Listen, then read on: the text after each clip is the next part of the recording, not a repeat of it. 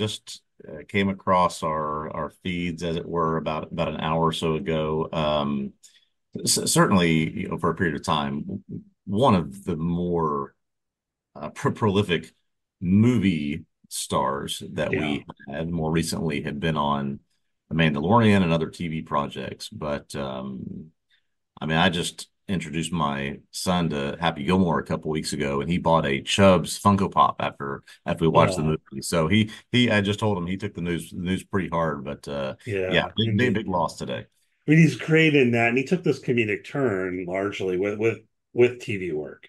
Yeah, Not The Mandalorian, obviously, but he had a stint on Arrested Development, yep, right? Um, and I don't know if Happy Gilmore was the first time when he kind of showed up in that way, because of course, back in the day, he was Apollo Creed, he was in Predator.